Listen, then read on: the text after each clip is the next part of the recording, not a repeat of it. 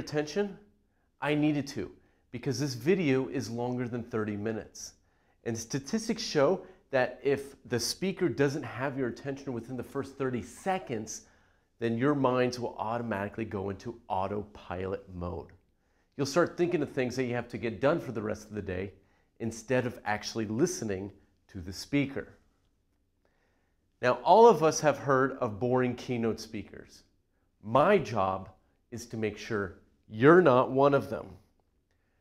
Before I get started, I want to mention to you that we'll be focusing on two different kinds of speakers that you may want to be a humorous leaning speaker and a heartfelt leaning speaker.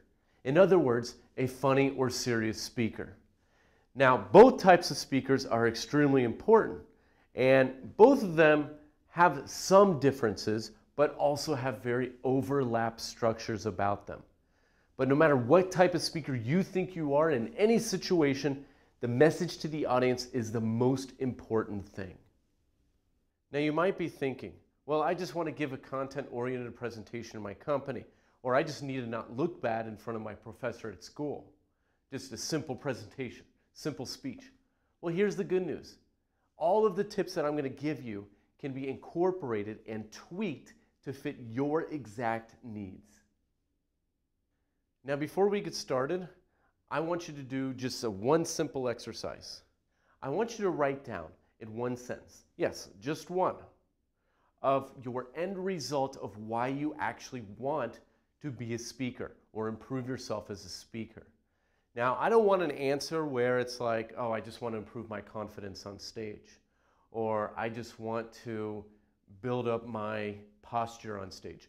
I don't want to, I don't want that answer. I want an answer where I want to build my self-esteem in front of my peers, or I want to get a promotion in my work, or I want all the professors to look at me as a confident person where they can just give an A. That's the kind of answer I'm looking for. I'll give you a structure just to show you. So right now, pause the video and write your end result.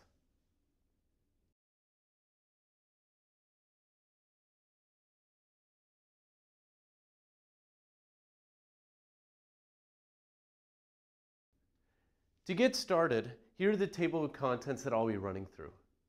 Part one is creating instant icebreakers the second you get to the stage. You gotta get your audience engaged right from the start, or else they'll go into autopilot mode. And you don't have to put on a bra, don't worry, okay? Part two is changing your thought process while speaking. Everything that you thought was a good speech or made a good speech will be reorganized in this section. Part three is writing a humorous leaning speech. Now, if you don't think that you're a funny person, then do not skip this section because a lot of important tips that I will be saying here can be incorporated in any kind of speech that you write. Part four is writing a heartfelt leaning speech. For heartfelt leaning speeches, how do you get the audience glued to your life stories? How do you get them so focused that they're not even going to look at their cell phone? That'll be gone over in this section. Part five is an advisable conclusion. Now, like I said, the message to the audience is the most important thing. So you tell what you've learned from your experience, tell the audience about it, and tell how to advise them from learning what you learned from it. Part six to nine, we start enhancing your speech. Part six is body language while you're on stage, moving around, where to move, how to do that and your voice modulation. If you sound like this and it's boring, okay? Part seven is discovering your unique traits as a speaker and using them to your advantage on stage. Part eight is using word repetitions throughout your speech to help your audience remember your speech better, along with tips on humor, pauses, etc. Part nine is coming back to your first exercise that you just did and writing your end result, maybe editing it, in looking at it again. And part 10 is your certificate for passing this course. Let's get started.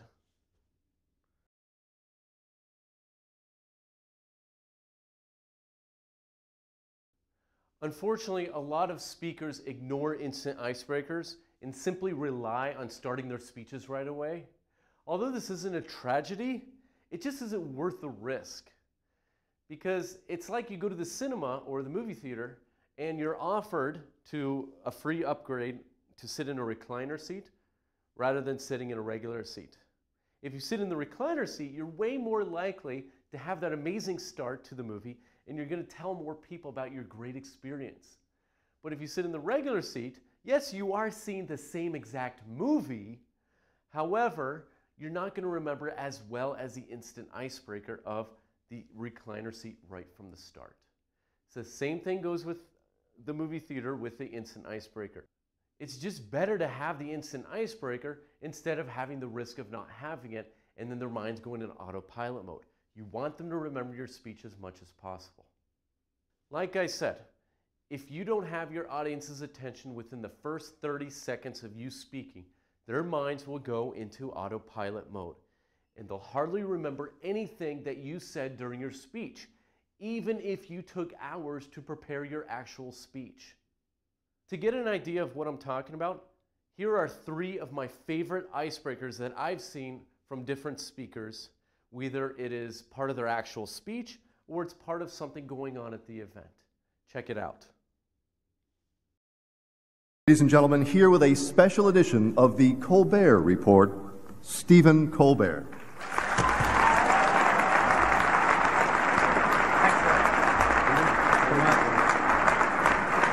Thank you, ladies and gentlemen.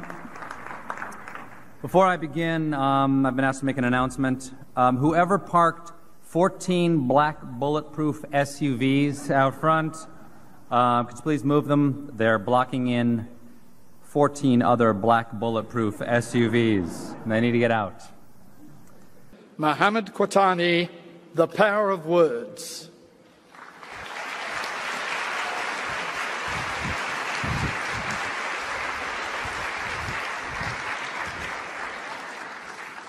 The Power of Words, Mohammed Qahtani.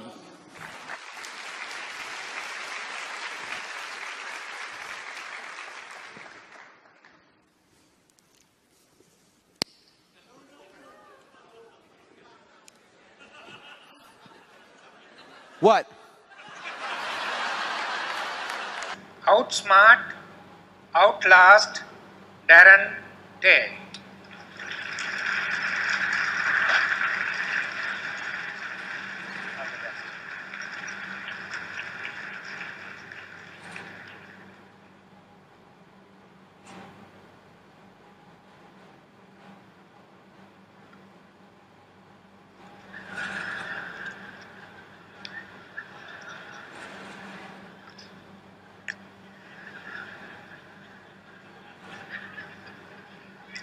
I'm sitting in the audience, I'm caught off guard, and now I start to like the speaker on stage. Immediately, they got the attention of their viewers and started to make them smile. That's the kind of reaction you need to get from your audience. Now, obviously, you don't need, need to do the same exact things that they did, but you need to get a similar reaction. And any instant icebreaker works in both funny or serious speeches.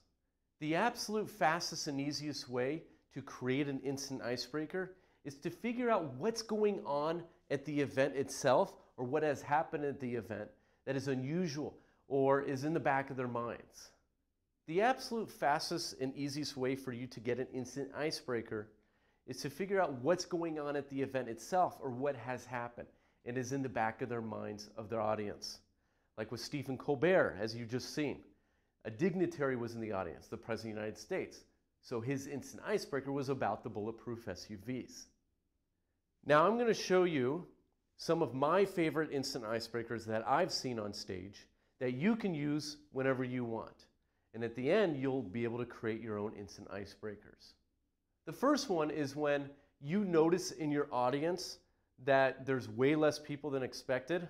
You were expecting 200 people and only 25 people came. So here's your instant icebreaker. Now, there was a rumor that the event was going to bring in Tony Robbins to come speak to you guys.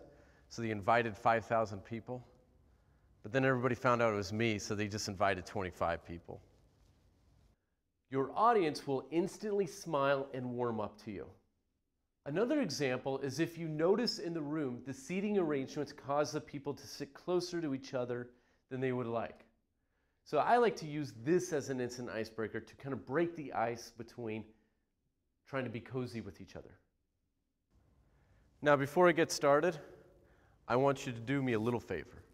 I want you to turn to the person on your left and right, and with the funniest looking face, say, I like you.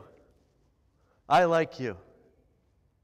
This small exercise gets the audience comfortable and focused on you as a speaker instead of their uncomfortable surroundings. Ice broken, focused on you. Another example is let's say you're giving a same old presentation in front of people you know really well.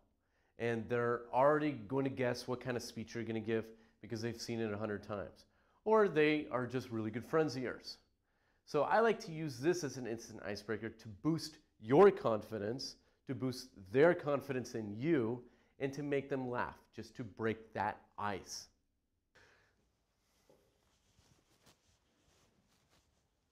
Applause.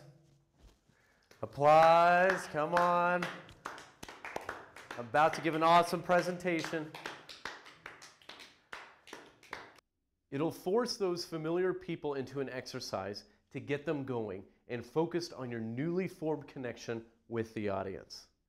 Another one is if you want to try to get a standing ovation at the end of your speech, then you can use this instant icebreaker from the beginning and with a small modification at the end as well. Here's version number one. Hello, everybody. I hope everyone's doing great today. Now, just to get started, I want you guys to do an exercise. I want everybody who was born in the months of January, February, and March to please stand up. Okay, now for you guys, I want you to hold, just hold your hands like this. Just hold them like this. Now, can I have all the people born in the months of April, May, and June to stand up? Now, can you hold your hands like this? Now, people born in the months of July, August, and September to please stand up. Now, can you hold your hands just like this? Now, the people born in October, November, and December, please stand up. And go like this with a peace sign. Now, hold that for just a second.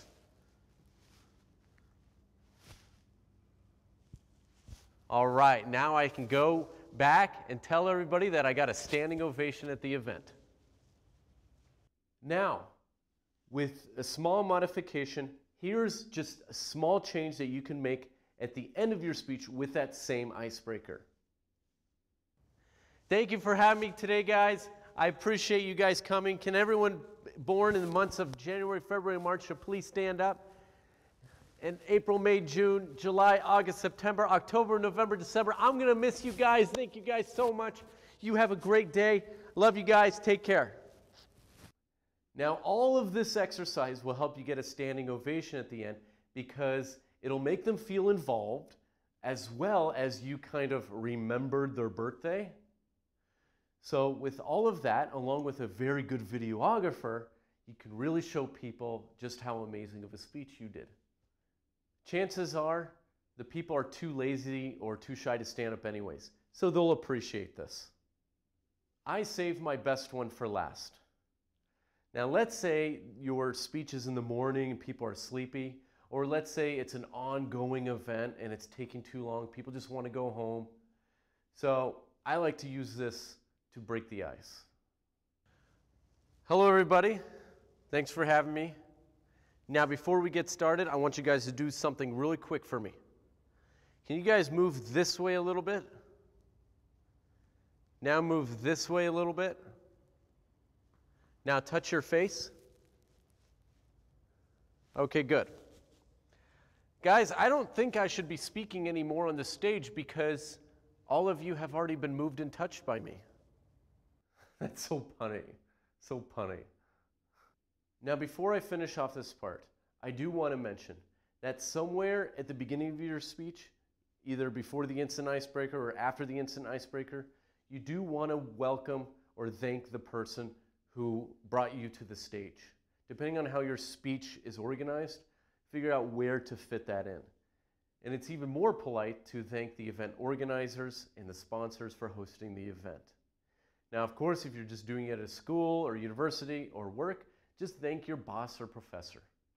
It's common courtesy to do this. And plus, it gives you brownie points. To finish off part one, here's a list of things that are going on during the event that are unusual and that could be in the minds of your audience, and you could use these as instant icebreakers. Here's a spreadsheet to help you out. Consider the weather as a possibility. Maybe it was really raining outside, like crazy, or it was really cold or really hot. Maybe the timing of the event. The, it's in the morning or way in the evening and people want to go home or stuff like that. Maybe the amount of people in the room is a factor. Maybe there's too few people, so many empty chairs. Or maybe there's too many people, it's crowded like crazy. Maybe there's certain people in the room, dignitaries, or maybe a clown, an entertainer, or something that stands out. Maybe the temperature of the room, maybe it's too hot or too cold. Consider that. Maybe it's too long of an event. People want to go home and people are tired, they're looking sleepy, and they're not even going to give you a chance. Maybe there's background noise in the event. Maybe there are firefighters outside or anything going on. Maybe the audience is hungry and people have been speaking for too long and they just want to eat. Maybe there's interesting gifts that people received. Maybe people received certain chocolates that are really tasty or something. Maybe the cell phones keep going off and it's really annoying. It's like the fifth cell phone that hasn't been turned off. Consider all these things while making your instant icebreakers. Pause the video now and write them down.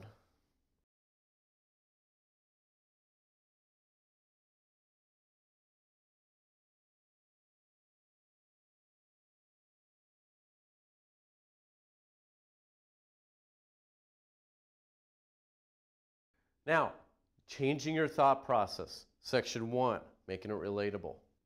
Now that you said something to get your audience's attention, it's now time to start writing your story. Yes, your story. This could take you the longest out of all the 10 parts because we're establishing how your mindset should be while outlining your whole speech. It's time to restructure everything that you thought was a good speech. So hang tight and don't get bored. Again, I need to straighten some things out right now. If you're ever planning on giving a speech on a summary of things or a summary of events or a content oriented presentation, or at any point in your speech making you feel uncomfortable speaking about yourself in anything whatsoever, then I got news for you. Nobody will care about your speech, let alone remember anything about your speech. That's because people don't want to feel they're being preached to or told that there are problems in the company and that if they don't get solved, then they're gone. They probably already know that there are problems in the company, but why aren't they reacting to them? It's because they need you as a speaker to make it relatable to them. And they need you as a reference to react to them properly.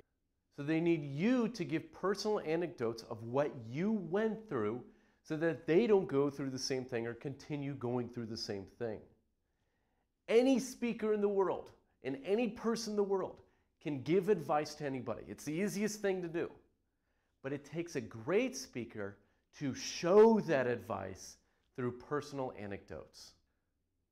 So you're wondering what to write at the beginning of your speech. When you're thinking of the start of your talk, that you don't want to get serious so soon. Nobody wants to hear anything serious at the beginning of their speech.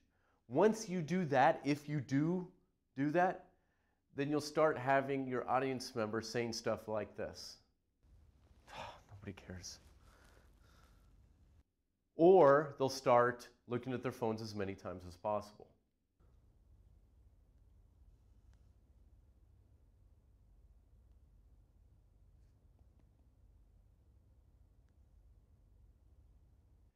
If you do need to add a ton of content and a summary of things in your speech, then mix it in with a lot of personal stories of yours so that the audience can remember it better and that they can relate to it better. If you do that, then they'll start saying to themselves things like this Well, that's kind of happened to me before. Or, oh, I didn't realize that. Don't use the third person whenever you're speaking. People want to know about you, not someone else or something else.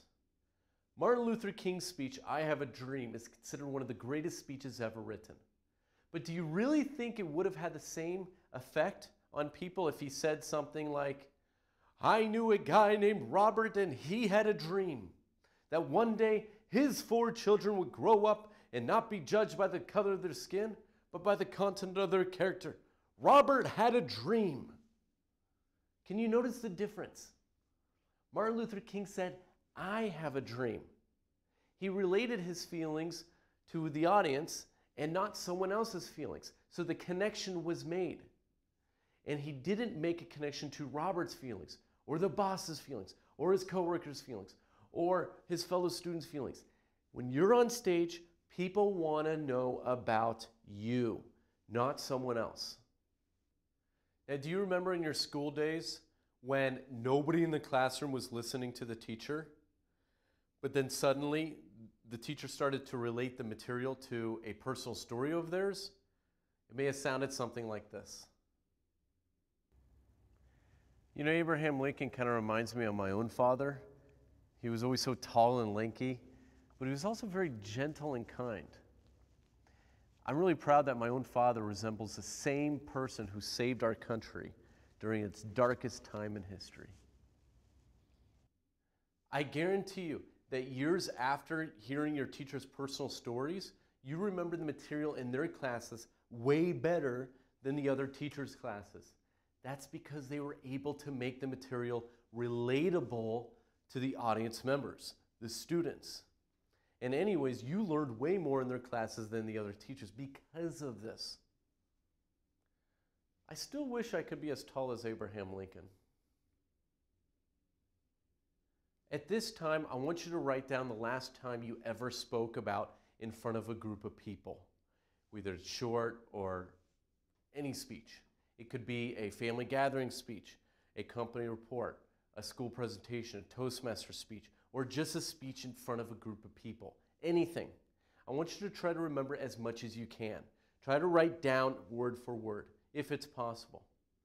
Now, after you do that, I want you to see where within the speech you could have made a difference in terms of making it more relatable to your audience. What short or personal or long story could you have added to make your overall speech more likable, more sincere, more funny? So go and pause the video now and write down how you could have added to make the speech. But make sure it's about you.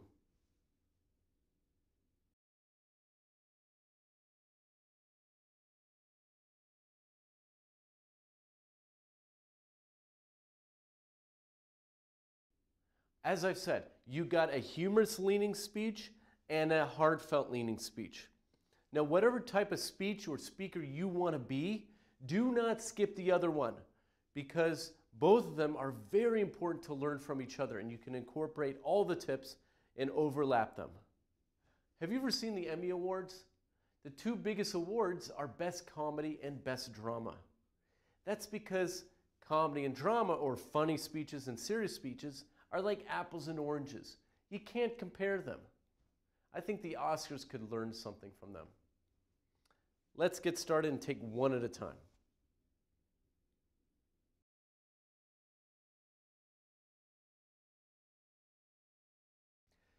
Now, if your speech is humor leaning, then you've got to think of all the problems that you have that you could poke fun at. What are your vulnerabilities? What are the things that people have in the back of their minds, but they're too polite not to say to you?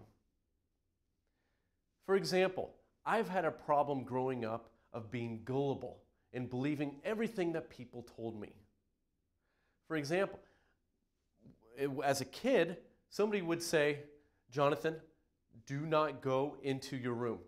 There are aliens there, they're going to abduct you, and they're not going to bring you back then my first reaction was, well, that's not good. What do we do? I, I can't fight them alone. We got to call the police. then I would start writing down all the embarrassing moments where I believed other people's lies. It would make me feel uncomfortable, but it would be the best way to have the audience relate to me and connect with me. And trust me, they're not laughing at you, they're laughing with you. They're saying things like,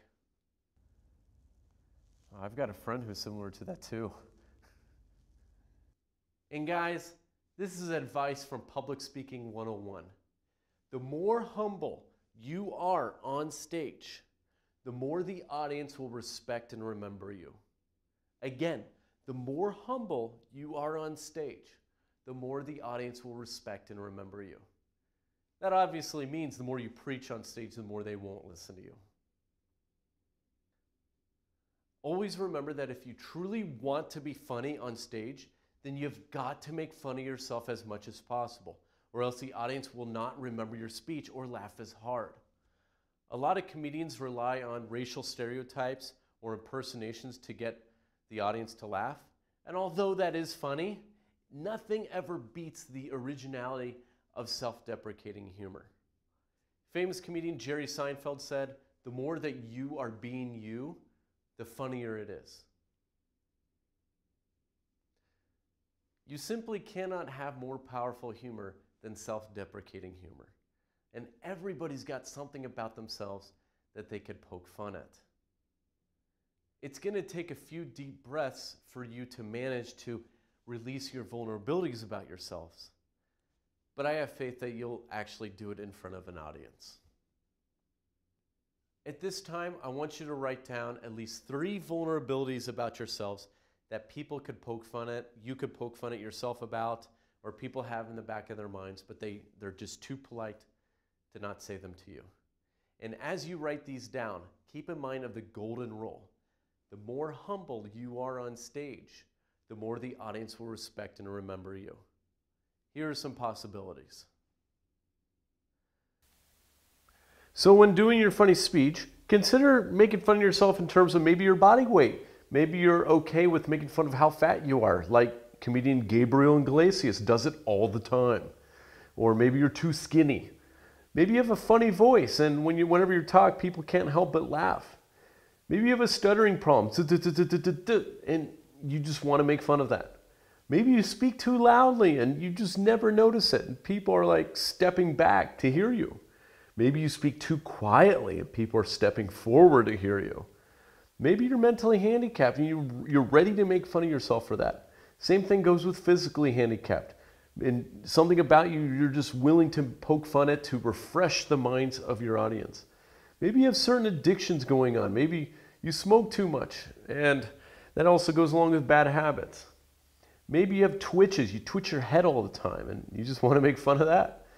Maybe you have loud laughs really loud and weird laugh too. And people are like, whoa, okay, it's not funny anymore. Maybe you have bad habits like smoking, like I said, or maybe you're just too bossy and you're ready to make fun of that for you. And maybe there are embarrassing moments in your life that only happen to you and it's really awkward, but when you talk about it, it's, it comes off as hilarious.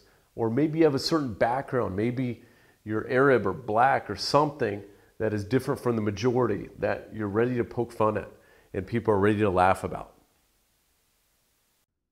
Pause the video now and write them down.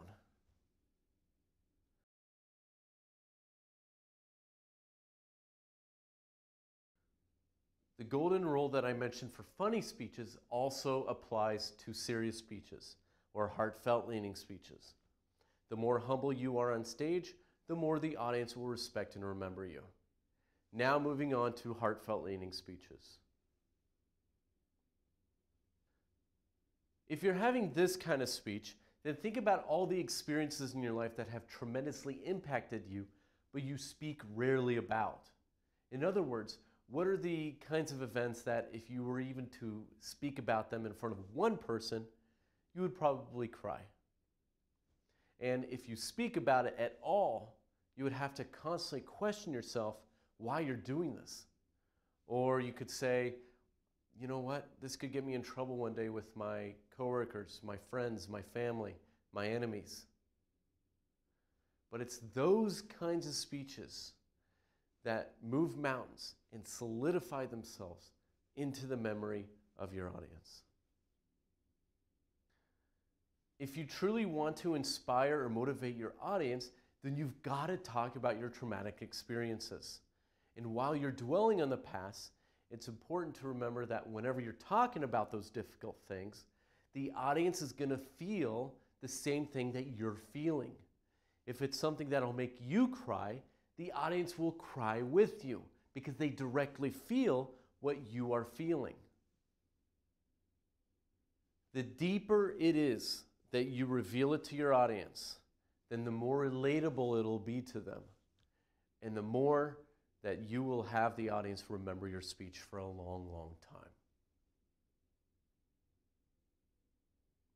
Just this year, I did a speech in front of a 500 person crowd talking about my parents' divorce. When I was 18 years old, my parents got divorced, and it was the most traumatic experience of my life.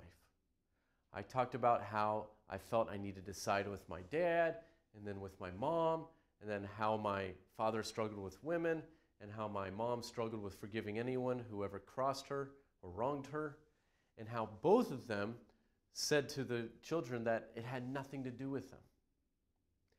It took me a long time to go through that speech, and I went through endless tears because every five minutes of trying to write that speech, I had to go pray to God to give me the strength.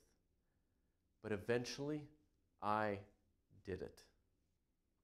I've had people come up to me after the speech saying that they were going through the same thing. And even during my speech, I saw people crying and turning the other way. And it was only during when I told my absolute deepest feelings was I able to get the full attention of the audience. I mean, their cell phones could be vibrating on their laps and they wouldn't even spare a second to look at it. That's how focused they were, and that's the exact kind of focus that you need to have your audience on you please remind me of the golden rule. At this time, I want you to write down at least three difficult experiences that you have had in your life.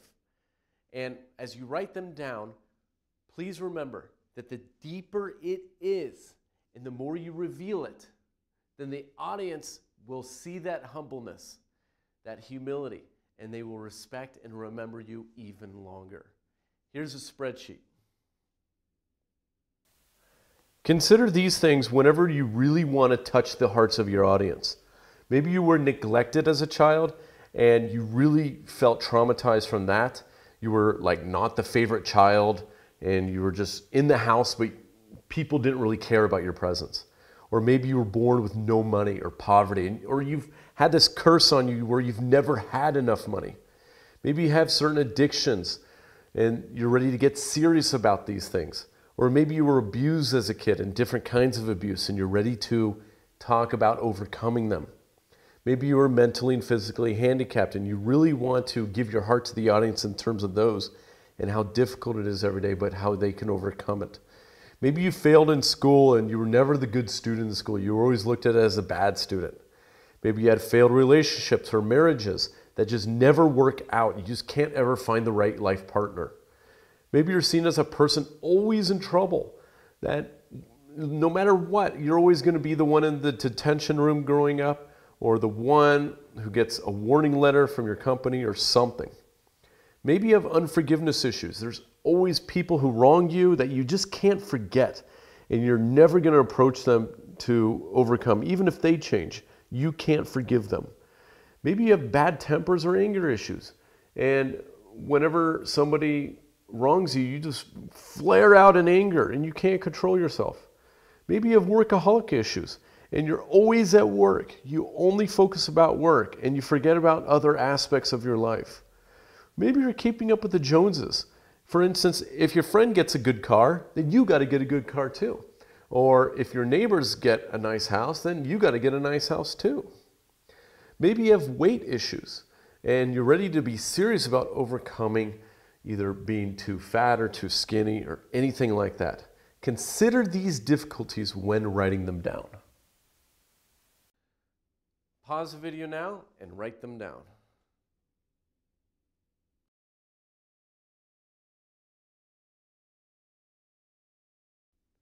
You got your instant icebreaker to get their attention, and you got your ideas on how to write a humorous leaning speech.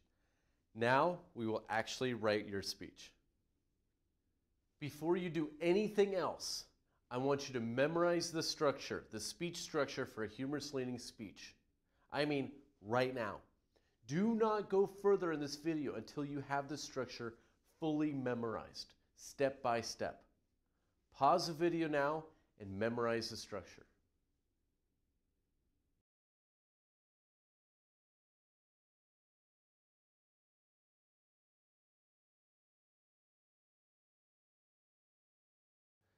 Now that the structure is fully memorized, I'm going to have you watch a humorous championship speech by my good friend Khalid Ismail. Now, he was overjoyed to lend his speech to you guys for the purposes of you learning about humor. In 2017, he won the Humorous Championship speech out of the entire Middle East for his speech titled Have Baby Now. Now, as you watch the speech, see which parts of the structure go within his speech and see where within the structure it fits. Khalid Ismail.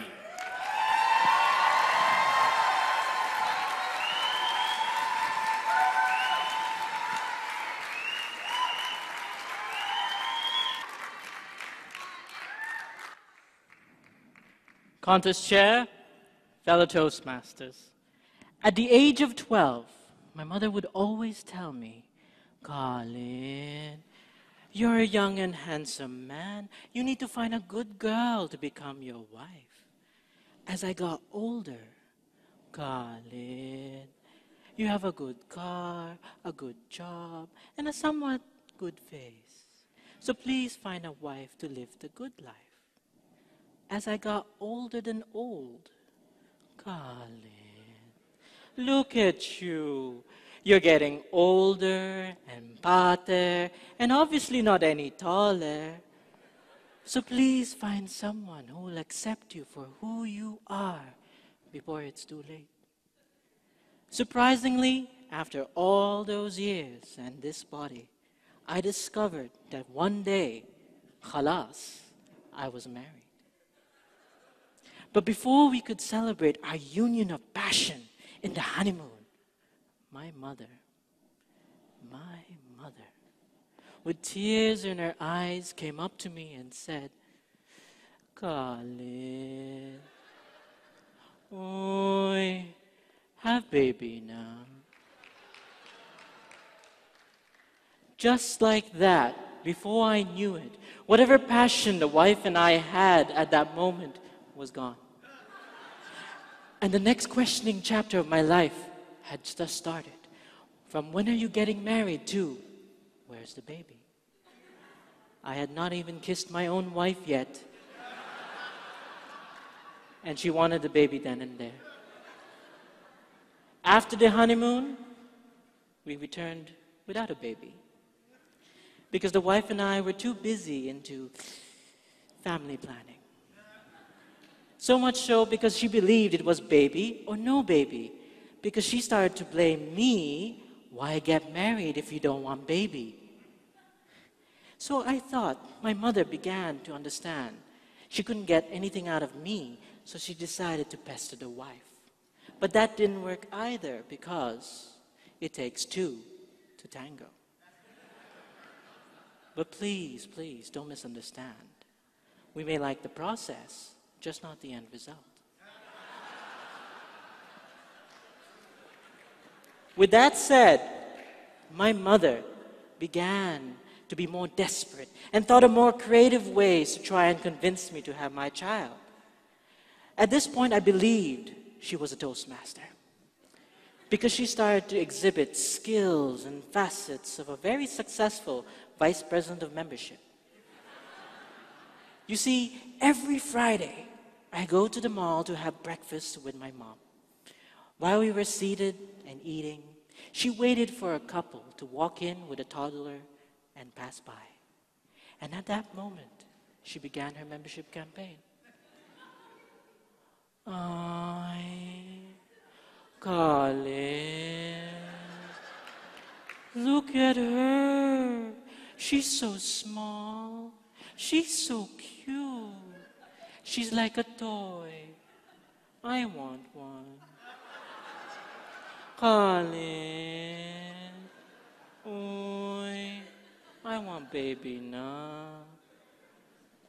The week after, she tried something different. This time as she was sitting down. Ay, naku, Khalid. Look at me. I'm getting older now. But of course, still very beautiful. But I can feel it in my bones. I don't have much time on this earth. So please, before I close my eyes, let me see my grandchild. Khalid. Oi. have baby now. The week after, she was far more direct. Khalid, oi, have baby now.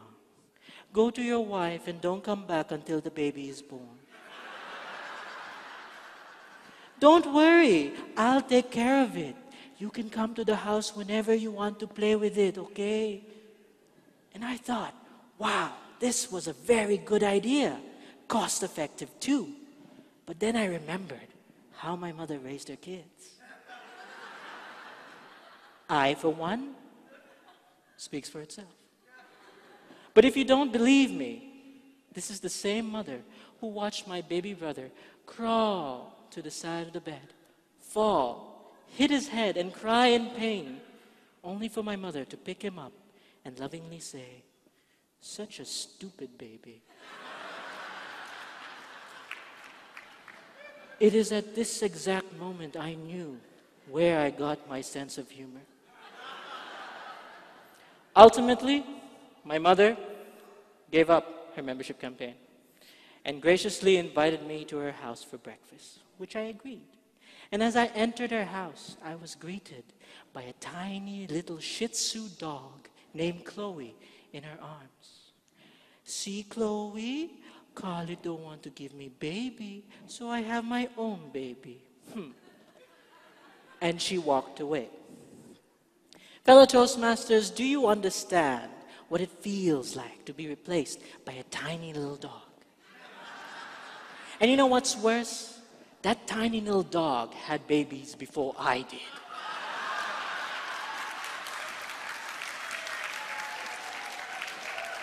I am being compared every day to the child making facilities of a tiny little dog. Every day I have struggled against my mother. And you know what?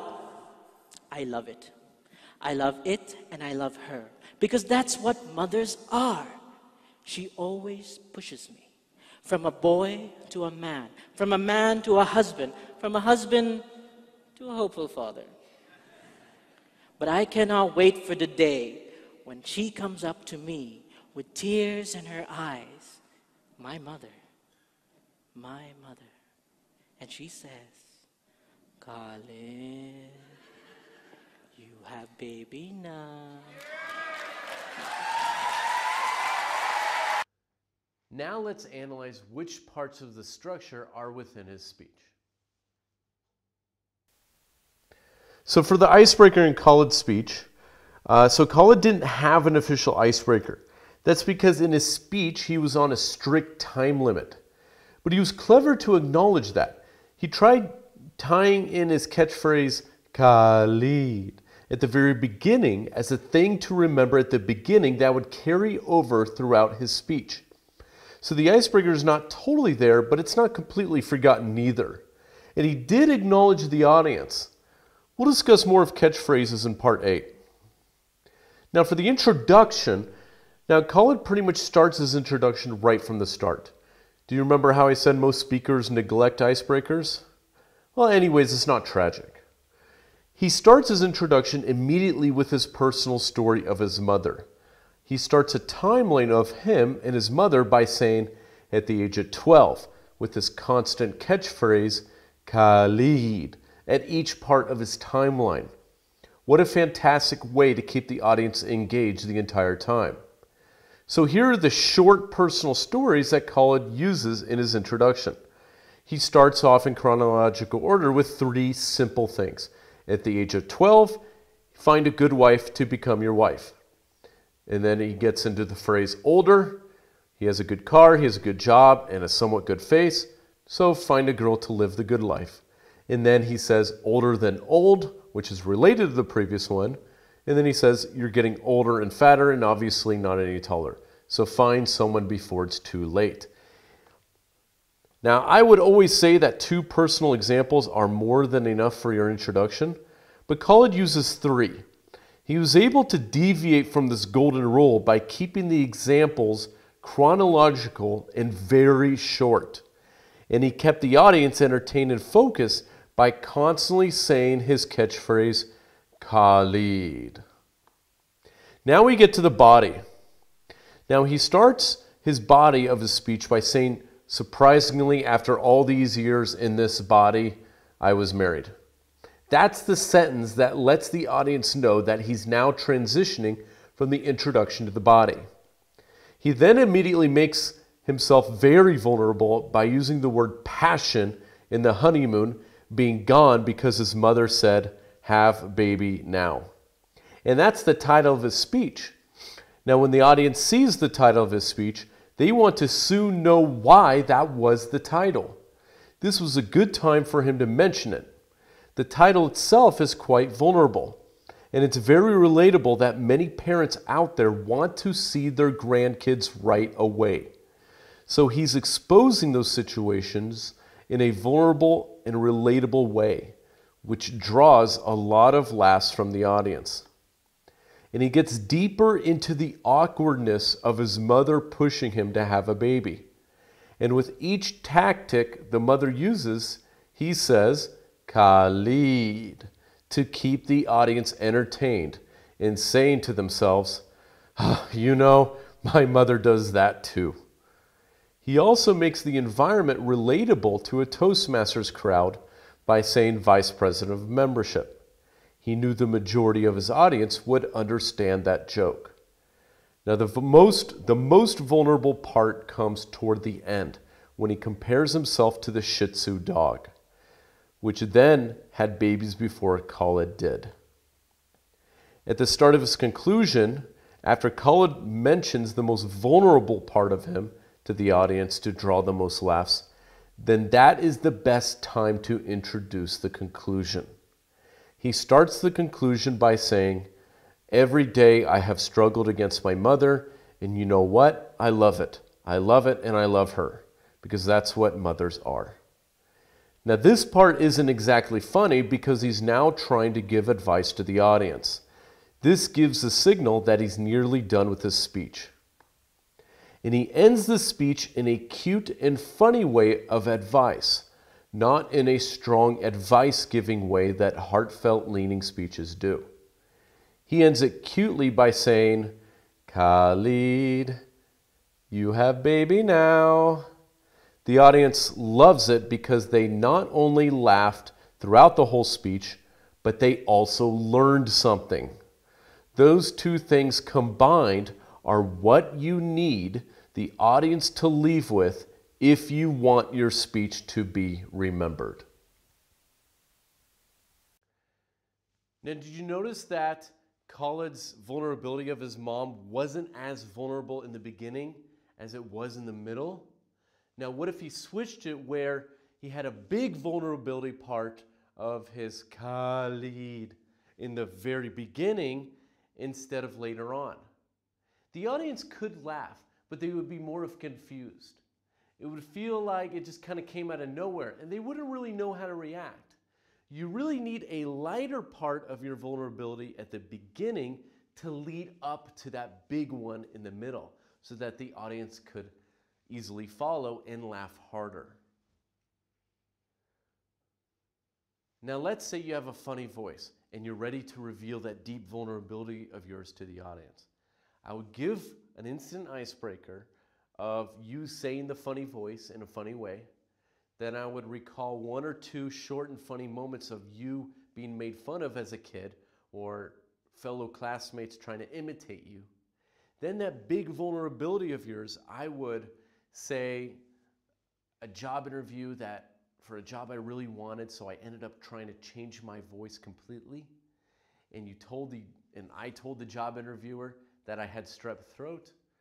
But then I got hired and everybody avoided me in the office because they saw me as the sick person.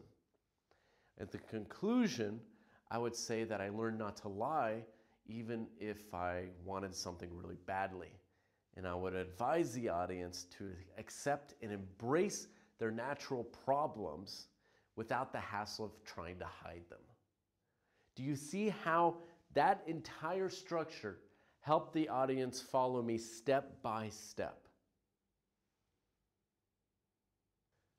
Follow the structure I told you, and you will have an amazing speech. Remember this the most. Your speech will never ever be perfect the first time that you write it. But that's why they call it a first draft. I want you to spend as much time as you need writing the first draft of your speech.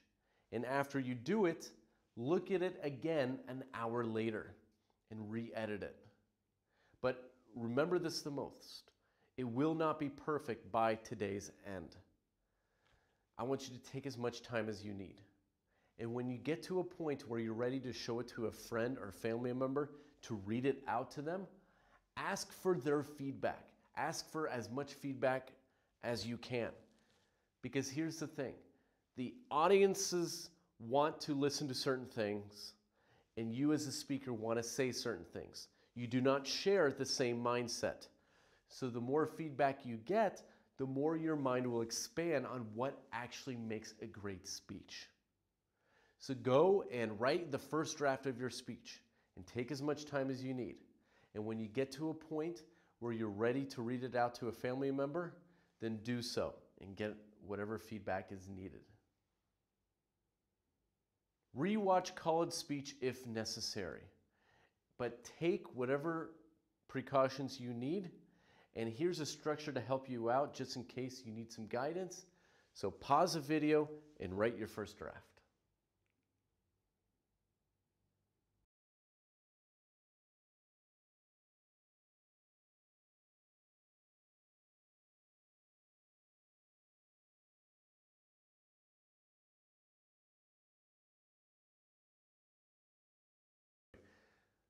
Now let's start your heartfelt leaning speech. By the way, if you skipped part three on writing a humorous leaning speech, tough luck for you.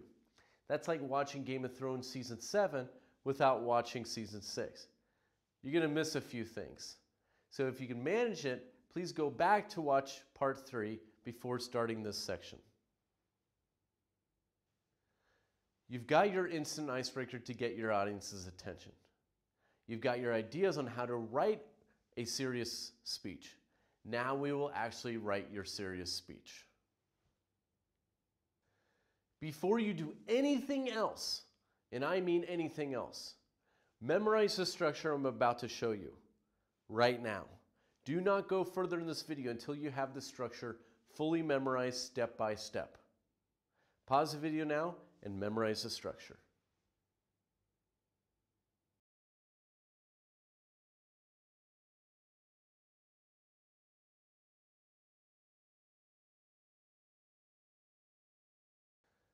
Tell me what you've noticed. That's right.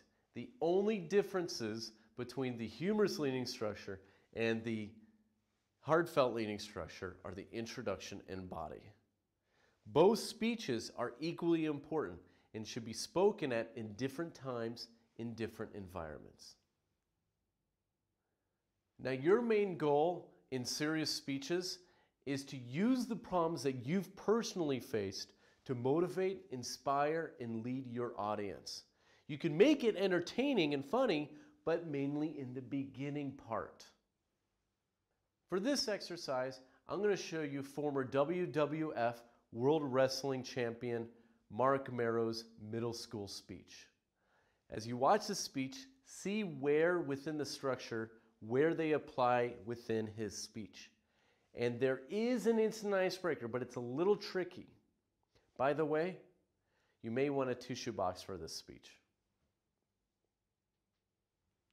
My mom would be at all my sporting events. Let's say I was playing football, okay? My mother would be on the sidelines, and if the play on the field started going one way, my mother would run along like, Mark, get him, get him. I'd be like, oh my gosh.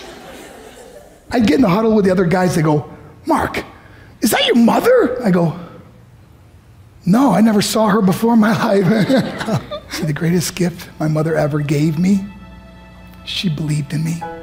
I have overdosed on drugs on three occasions where I should have been dead. But I believe I was kept here for a reason. You show me your friends, I will show you your future. How do I know this? I hung out with losers and I became the biggest loser of them all because I gave up everything I dreamt about as a little boy because of who I chose to surround myself with. My friends would drive me home at 2, 3, 4 in the morning. We'd be drunk and high, laughing in the car. We'd pull up in front of my house in New York. They go, Mark, Mark, the light's on. I go, oh man, my mother's up. See, my mom wouldn't go to bed until she knew her son was still alive. I'd walk in, she'd say, Hi, Mark, how was your night? I go, good, Mom. I'm just gonna go to bed. She goes, Can I can I talk to you for a minute? I go, Mom, I'm tired. I'm just gonna go to bed. She goes, Mark, I haven't seen you all day and all night. Can I please talk to you? I said, Man, just leave me alone. You bug me. I'd slam my bedroom door on the one person who believed in me. I was on a worldwide tour and we were wrestling overseas in Japan. After my wrestling match, I went upstairs in my hotel room and I fell asleep. There was a knock at my door at 3 o'clock in the morning. I got out of bed and I looked through the safety window and I could see it was a Japanese promoter. So I opened the door and he said, Mark, you need to call home. There's been an emergency. I went and got on the hotel room phone. I called back to the United States. I said, hey, what's going on? They said, Mark, I don't know how to tell you this. I said, just tell me what happened. All of a sudden, they started crying. They go, Mark, I can't tell you. I said, just say it. They said, Mark, your mother died. I just threw the phone down. I ran out of my hotel room. I took the elevator to the lobby, and when the doors opened up, I just ran out into the street. I mean, there was no cars, there was no people. It's three o'clock in the morning. And I walked down the middle of a street in Hiroshima, Japan. And I remember looking up and just saying, Mom, I am so sorry. I flew home for her funeral and I was so nervous to walk up to her casket, so I just stood way in the back. And I kept looking from a distance. I kept thinking to myself, Mom, please wake up. Please get up. And then I finally got the nerve to walk up to her and as I got closer, I could see my mom for the first time. I mean, she was so beautiful. She, she was dressed in white. I mean, she looked like an angel. And I just stood over and I said, Mom, you are my hero. Everything I am, everything I hope to be was because of you. You loved me so much. You gave me a life. You're the only one that ever believed in me. How did it repair? By getting drunk, by getting high, by getting stupid, by hanging out with losers? For what? All she ever wanted to do was talk to me. I wish I could talk to you now, Mom. I wish you could see what I'm doing. Why couldn't I have been a better son? We are defined by our choices. But if you surround yourself with people involved in drugs and alcohol and pills, it's a dead end. I'm not here to preach to you.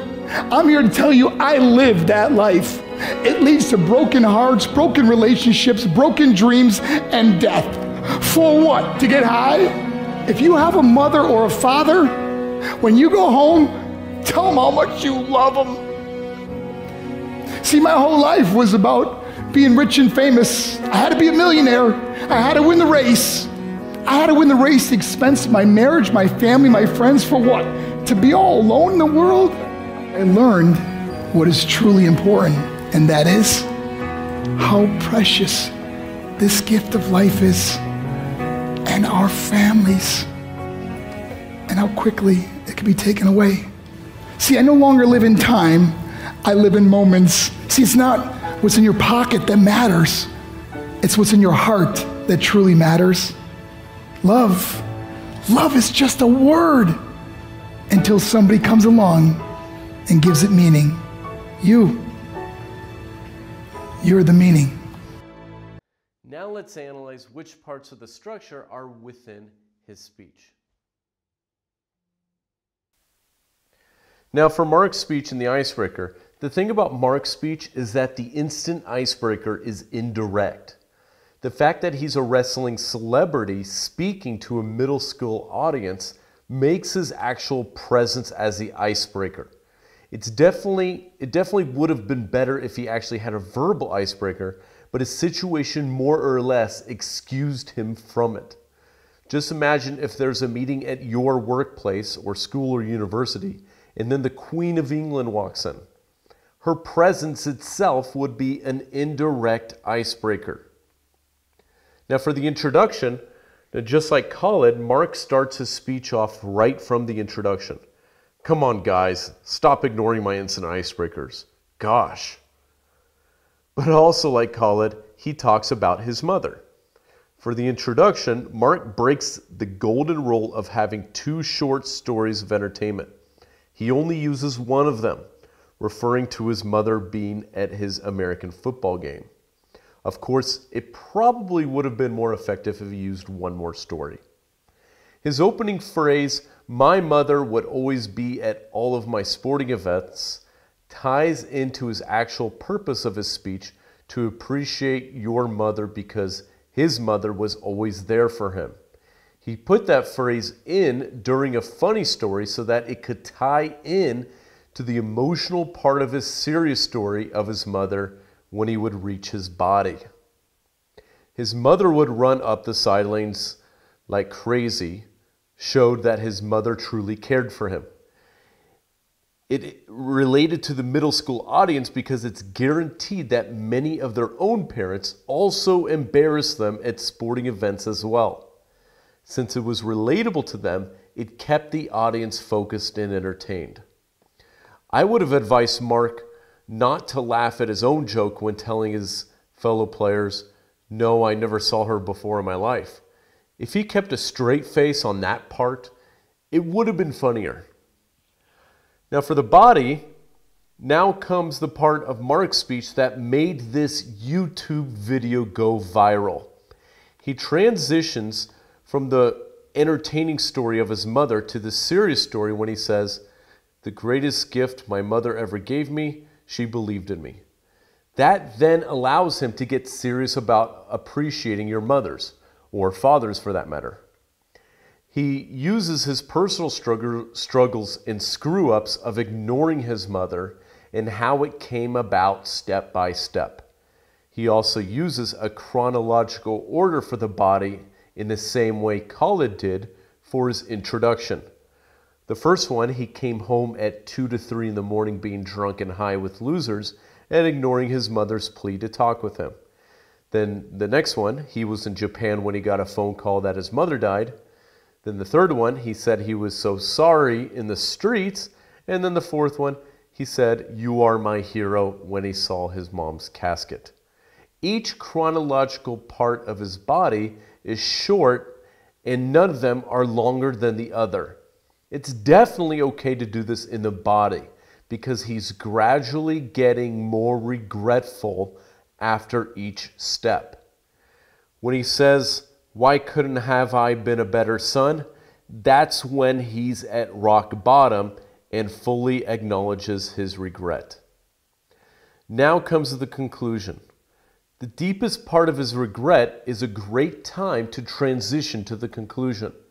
He starts his conclusion by saying, We are defined by our choices. But if you surround yourself with people involved with drugs and alcohol and pills, it's a dead end. He's allowed to say this advice because he showed through his own examples how bad it can be. If he said that advice at the very beginning of his speech, it would have absolutely no effect on the audience at all. And he continues to give emotional advice to his audience by telling the audience to go to their parents to tell them that they love them. Now, I want to finish off Mark's speech by asking this one question How was his speech so effective to the audience? How did he get just about everyone to cry? In part seven, we're going to go over unfair advantages for you as a speaker that only you or very few people can pull off. For Mark, his unfair advantage was his voice. His natural voice sounded emotional. As he got deeper in his regrets and gave advice, his sad sounding voice was able to help get his message across more effectively than if a different speaker doing the same exact speech could. I couldn't pull off the same effect as him because his natural voice is more effective than mine. But that also means that I have other unfair advantages, just not his. And the same goes for you. Now, did you notice that in Mark's speech, he put the serious story second instead of first? He put the funny stuff first. What if he switched it where the funny part was after the serious part? Do you really think the overall message to his audience would be having the same effect? Think about it. The audience would be walking out of the room saying things like, he was all right. Instead of,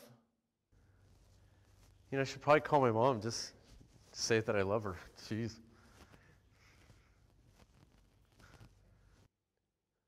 Which words do you want to put in the minds of your audience as they walk out of the room? What do they want to take away from your speech long after you actually say it? Now, a lot of you watching this will be concerned about speaking at a school or company presentation, as I've said, and you got a lot of content to say. But if you mix that in with the structure that I've shown you, then you will have an amazing presentation. For example, let's say that you are at your company and you got to tell your employees that sales are going down, it's the fault of the employees. That sounds pretty sorrowful. So I would give kind of an instant icebreaker to engage them. Then I would recall one or two moments where I succeeded in sales and it's both funny and engaging. And then I would get serious and say how I failed in my past and I hit rock bottom, but then I managed to climb back out. In the advisable conclusion, it is now time to reveal to the audience directly that sales are down and it is the fault of the employees. And the focus is how you got out of your own slump so that they can get out of their own problems too and they use you as a reference to get out of it. I guarantee you that if you write your first draft like that and modify it days afterwards, then your employees will do way more than you actually expected them to do because they appreciated that reference of you instead of preaching to them. And if but if you don't listen to any of my advice, if you simply write a speech very serious at the beginning, saying sales are down or you're going to get fired, then they're just going to do enough to not get fired. Again, remember this the most. Your speech will not be perfect the first time you write it, but that's why they call it a first draft. I want you to take as much time as you need to write the first draft of your speech, but it will not be perfect by today's end. After you write the speech, then I want you to look at it again, maybe an hour later or two hours later, whatever you're comfortable with, and re edit it. And when you get to a point where you feel comfortable reading it out to a friend or family member, then do that and get their feedback. Their feedback is precious because the audience member listening and you speaking do not have the same mindset. It's they want to listen to certain things, you want to say certain things. So expand your mindset by as much feedback as possible so that you can connect to your audience more. So go and write your first draft of your speech. And when you get to a point where you're comfortable reading it out to a friend or family member, then go and do so. Rewatch Mark's speech if necessary, but it will not be perfect by the end of today. Here's a structure to help you out. Go and write your first draft.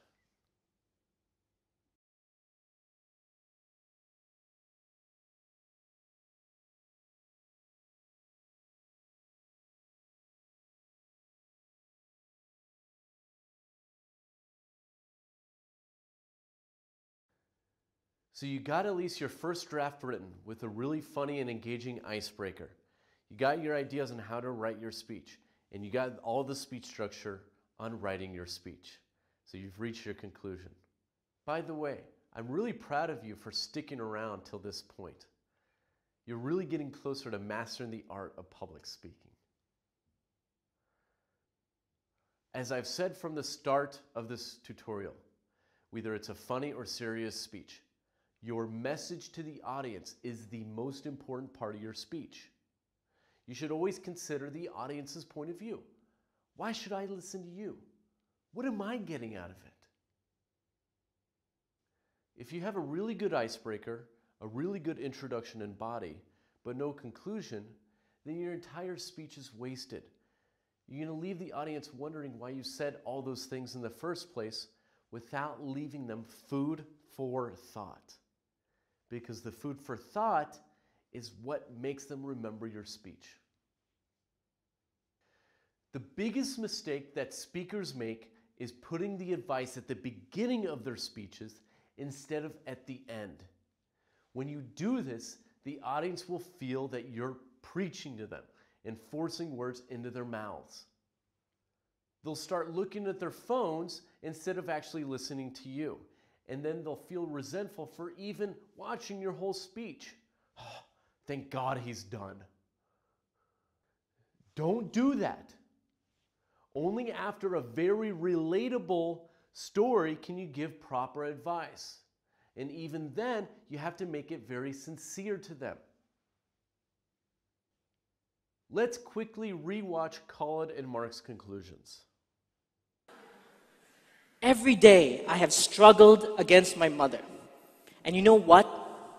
I love it. I love it and I love her. Because that's what mothers are. She always pushes me. From a boy to a man. From a man to a husband. From a husband to a hopeful father. But I cannot wait for the day when she comes up to me with tears in her eyes, my mother my mother. And she says, Khalid, you have baby now. We are defined by our choices. But if you surround yourself with people involved in drugs and alcohol and pills, it's a dead end. I'm not here to preach to you. I'm here to tell you I lived that life. It leads to broken hearts, broken relationships, broken dreams, and death. For what? To get high? If you have a mother or a father, when you go home, tell them how much you love them. See, my whole life was about being rich and famous. I had to be a millionaire. I had to win the race. I had to win the race at the expense of my marriage, my family, my friends. For what?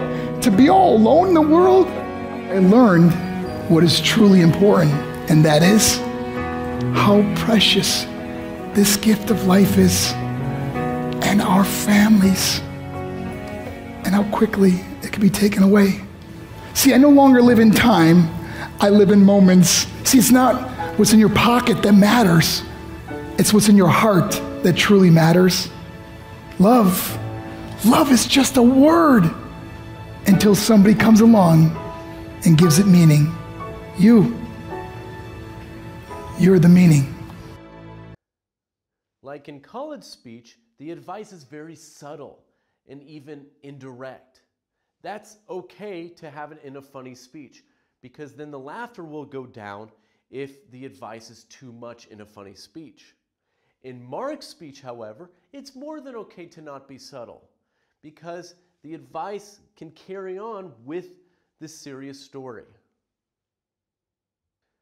But both speeches Leave the audience with food for thought immediately after they finish. That's your ultimate goal. Now, if I was telling the audience of how I was gullible, then I would give my instant icebreaker. I would recall one or two short and funny moments where I believed people's lies growing up.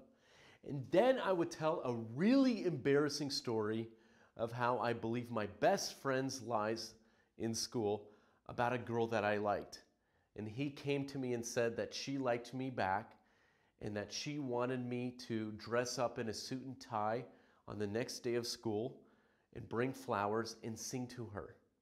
And then I did and got a big fat no, and everybody was laughing, including my best friend who was dying of laughter on the ground. Then, in the advisable conclusion, I would say this Dear friends, I found out the hard way to always be careful to believe something that somebody tells you, especially if there's somebody close to you.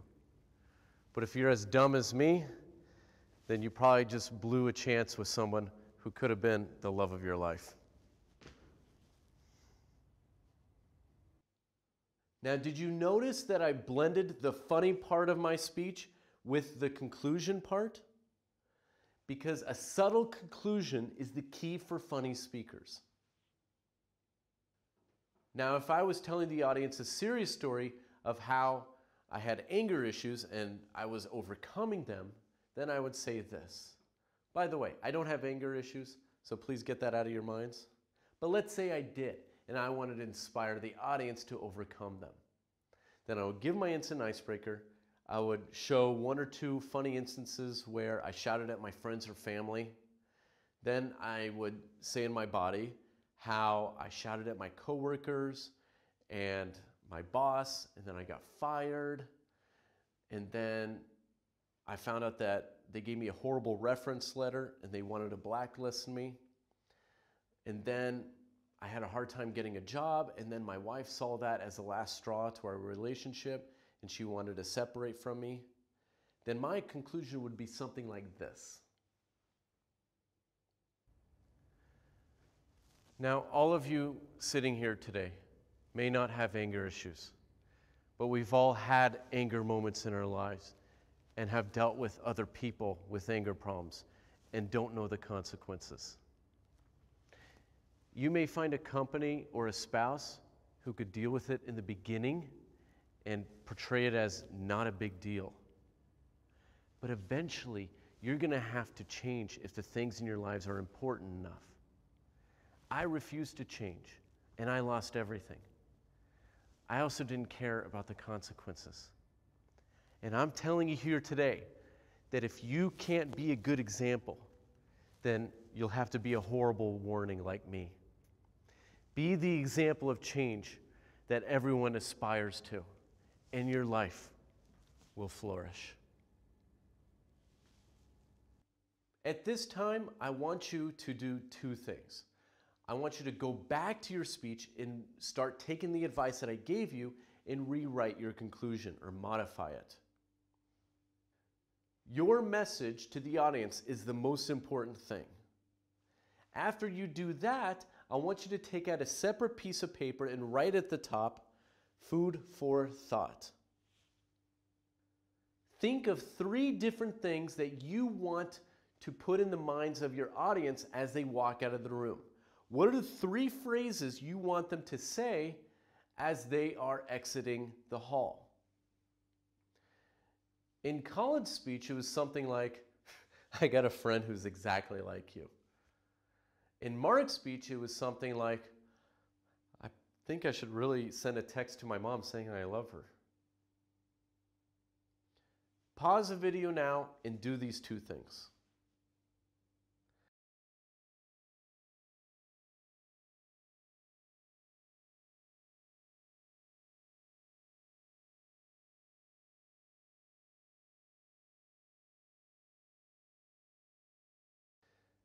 Now that you've finished writing your speech, it's now time to start enhancing it. It's like you baked a cake and put on the frosting, but what about all the decorations? Let's get going. Your body language on stage is crucial. Writing a speech is one thing, but if you deliver it poorly, then the audience won't be too excited to listen to you. They may come up to you and say, Oh, that was a great speech. But they'll forget a lot of things because you look so bored, nervous, and uninterested while on stage. And avoid this invisible box area around your torso as much as possible. It shows that you're nervous if you keep your hands in this area. And if your audience picks up on that nervousness, then they won't listen to you. And by all means, do not put your hands in a class form as you're speaking. Pure nervousness right there. And by all means, do not stand there like a statue without moving during your whole speech, even if it's a podium. Move around. Because if you stand there the whole time and I'm in the audience, then I will personally put my headphones in and start listening to music the whole time.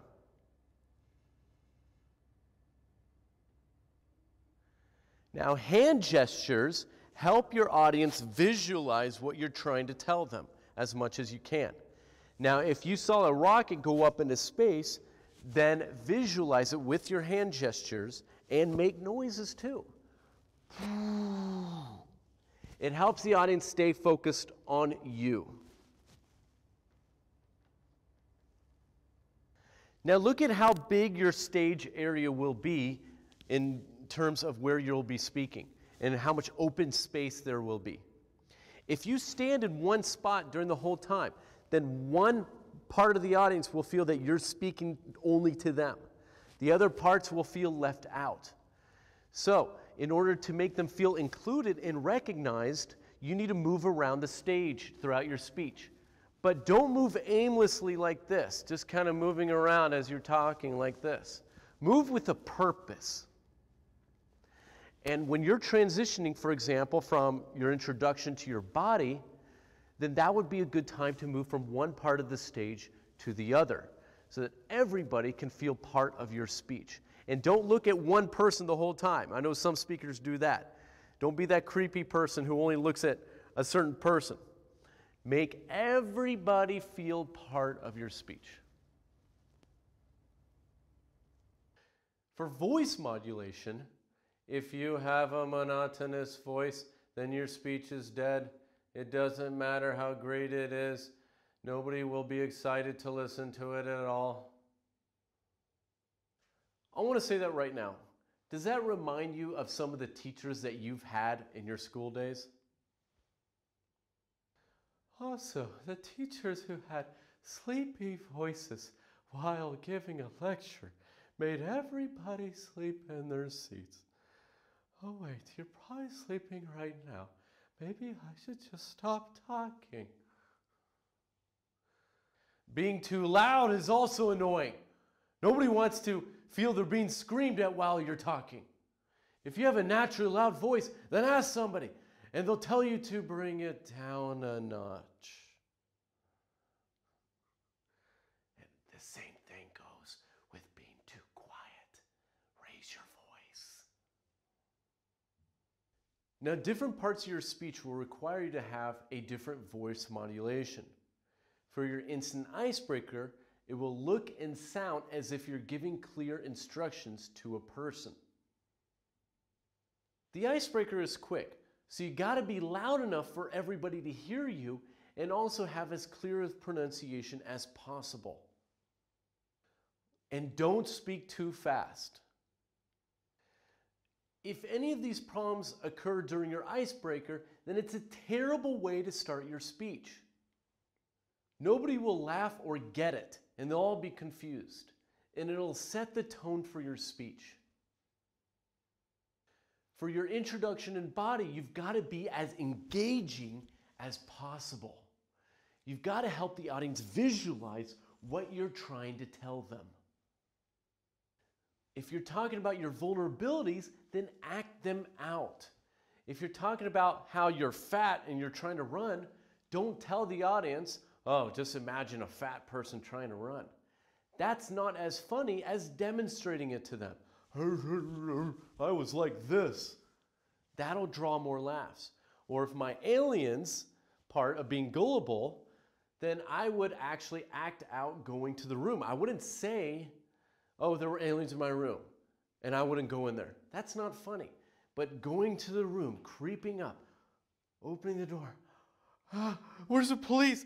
I'm gonna call police. I don't want to see anymore. They're probably in, hiding in the corner. That is more engaging. If you're at the part of your speech where you hit rock bottom, then have a softer voice so that the audience can feel those emotions. And maybe come closer to the audience as well so that they can feel part of it as much as possible. At the start of your conclusion, it's advised to back up and have a slightly higher voice. That'll give the signal to the audience that you're almost done with your speech. It'll get them on the same page as you and it will help them remember your speech better. And when you finish your conclusion, for serious speakers, you can come closer. Lower your voice and come closer to the audience and give some emotional flair so that they can feel your feelings more. You get it? And if you're going to ask me, uh, Jonathan, how do I get rid of the nervousness when I'm on stage? How do, how do I stop shaking or like, what do I do? And I'm going to tell you that the more prepared you are on stage, the less nervous you will be. Again, the more prepared you are and more hours you put in beforehand practicing your speech and your body movements and voice modulation, the more you will be confident on stage. There are millions of examples that I could give you, but I would like you to try to figure them out themselves because that's where true learning comes from. At this time, I want you to look at your speech again. I want you to go back to see where and within your speech you can practice your body language and your voice modulation. See where it could fit in. As you record it, just see where it fits correctly, at which parts of your speech you're moving, at which parts of the speech you're speaking. Record it if you can and look back at the video to see where you could improve on it. This may take some days for you to finish and to finalize, but if you want the absolute best speech that you possibly can get, then I suggest you practice all these things. Pause the video now and finalize your body language and voice modulation for your instant icebreaker, for your introduction and body, and for your conclusion. Good luck.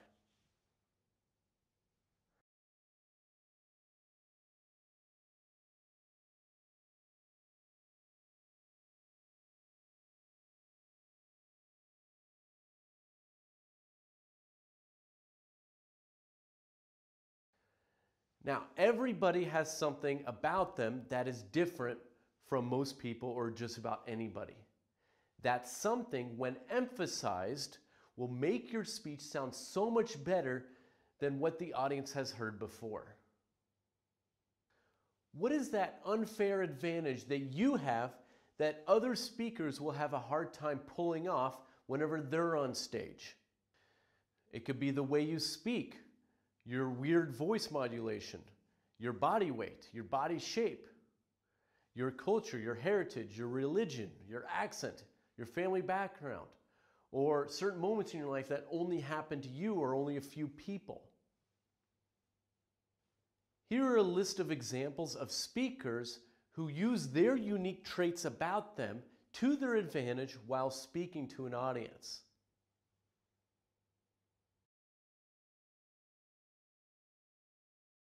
Why don't you move here? Then you'd have a bigger place. Do you like it here?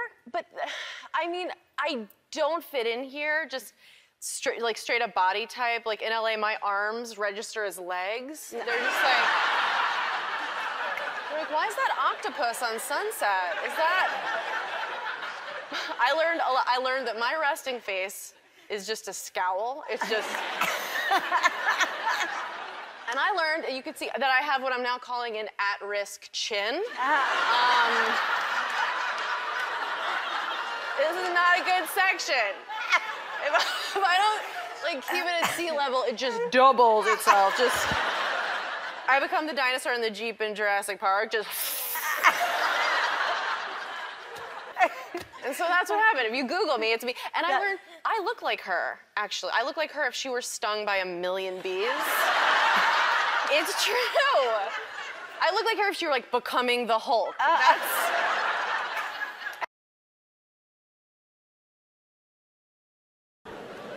And your mom walked in, you were thinking, I'm gonna be a musician. Your mom walked in and went, Sandu.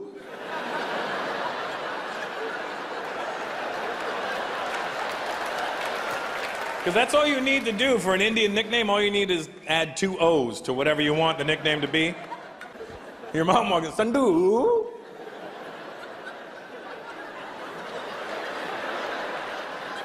You're going to college? Why don't you become a doctor? And you were like, What's wrong with your face? if you become a doctor, you can fix it.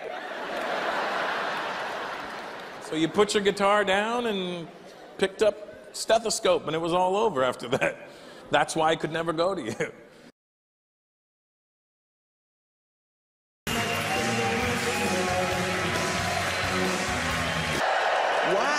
Um, I can see a few of you in the audience are struggling to place me. Was he on the Paralympics? No, that's not me. Was he on Undateables? Is it? It's not. it's not me. Does he present Bake Off? My mum calls me a little Superman. I was over the moon until I found out she meant Christopher Reeve. At this time, I want you to write down at least three different traits that you have that could be an advantage to you and you could use it in your speaking. Every single person has unique qualities about them, but not everybody uses them to their advantage. It's time you start doing it. Pause the video now and write your three unique traits.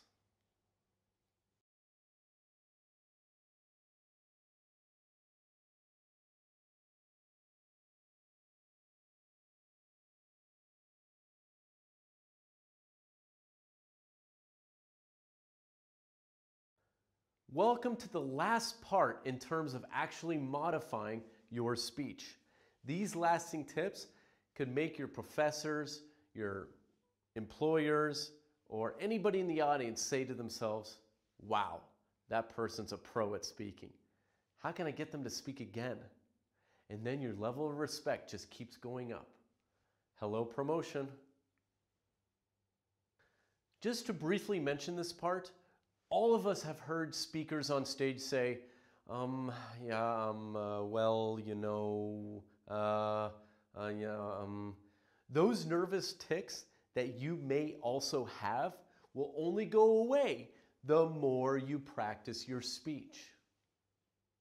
If you are prepared, then you are confident enough to not forget your lines or to stumble upon words or try to pause for a long time to try to remember your speech.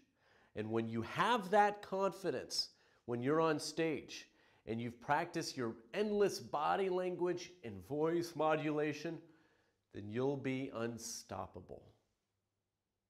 Let's now focus on tips on humor. Now, all of us have heard an average, just a regular speech that is borderline serious or too serious or whatever, and just about anybody in the world can make that kind of speech. But you know what's really tough? Is making people laugh. An important reminder is that if you are telling a joke or a funny story on stage and you are laughing at it with the audience, it'll kill the joke. It shows nervousness and lack of preparation, and the audience will immediately stop laughing once they see that you are laughing too. The reason it's so funny is because they're saying to themselves, How can he not laugh at this? Or how can she not laugh at this? Another tip is called the element of surprise. If you're telling a regular story, but then say a funny twist to it, then the audience will immediately laugh. They were expecting one thing, but then got another thing.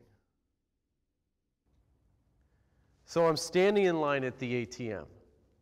And then this scary looking guy stands right behind me. And he's got one of those face masks on where you can only see the eyes and the mouth. And then he's moving his hands in his jacket pocket. And I see out of the corner of my eye that he's reaching over to grab my shoulder. So I turn around and I grab his hands as fast as I can. I don't know what to do. And then he says, Dude, it's your turn at the ATM. And by the way, I'm married.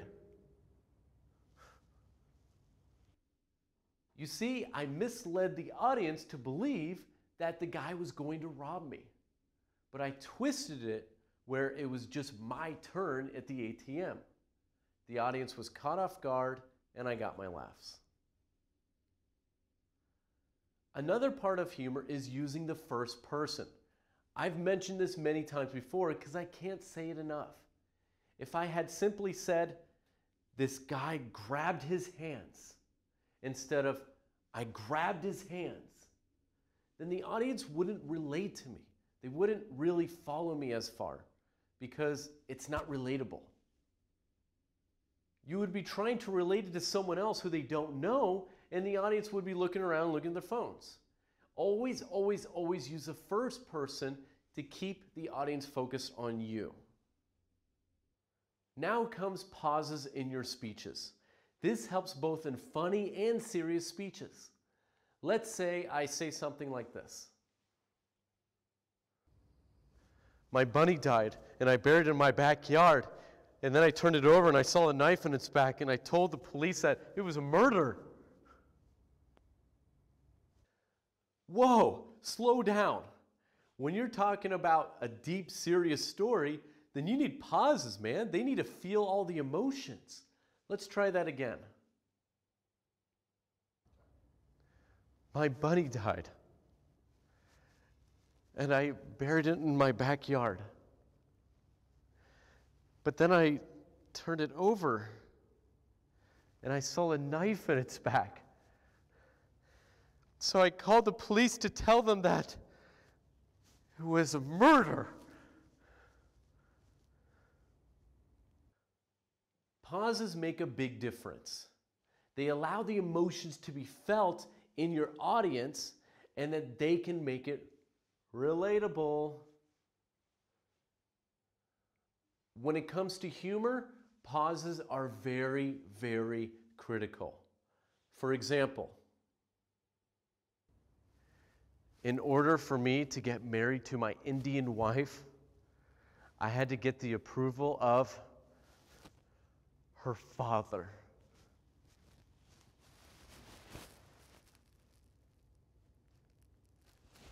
Papa, can I marry your daughter?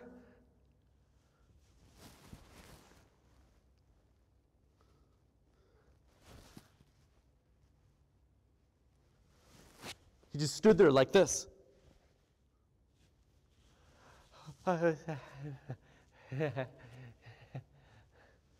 of course you can. Come here. Thanks.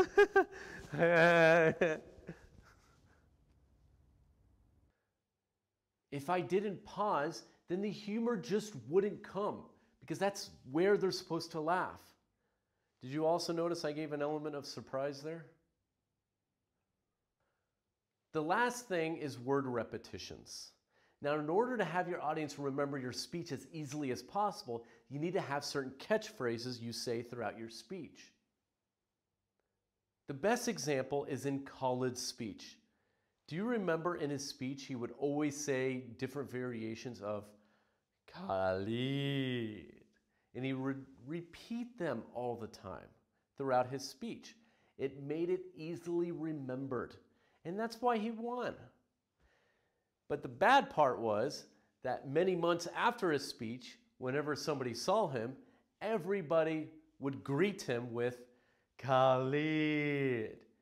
It annoyed him tremendously, but that's what got him to a winning speech in the entire Middle East.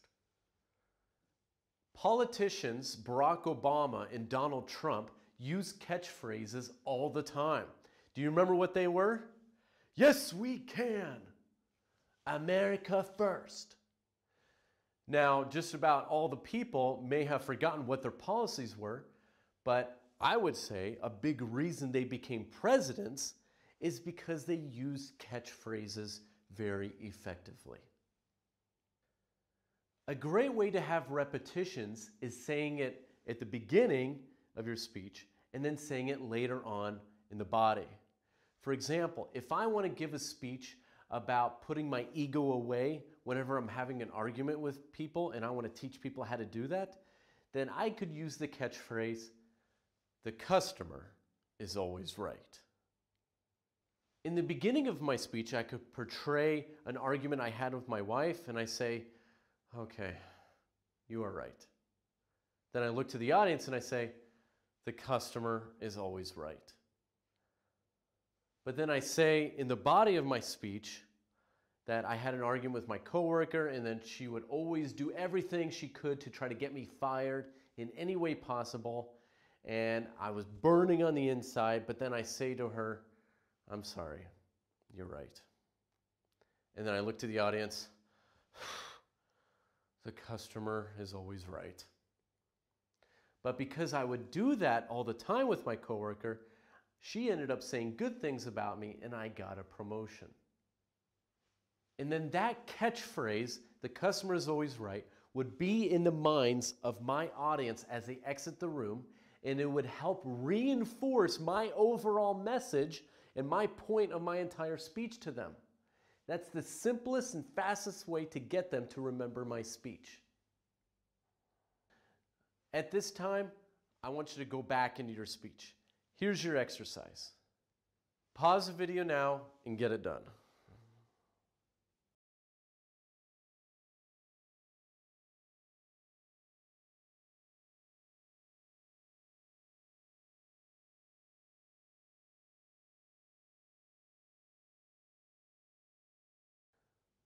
Well, we're just about done, but not yet. At this time, I want you to go back into your end result that you wrote at the very beginning and re-edit it or modify it in whatever way you feel after learning all of my tips. I want you to think as big as you can. For example, the reason I want to constantly improve myself as a speaker is to get hired by companies to speak at their events or presentations or be an MC. But that's my goal.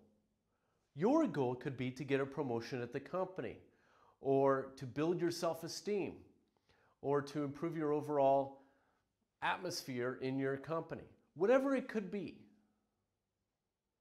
At this time, finalize your overall end result of why you actually want to be a better speaker. When you know exactly why you're doing all of this, then you'll be way more motivated to apply the tips that I've given you to make yourself a better speaker. My purpose in my life and for making this video is to make sure that you're the best speaker that you can possibly be. But how can I help you if you can't help yourself? Pause the video now and finalize your end result.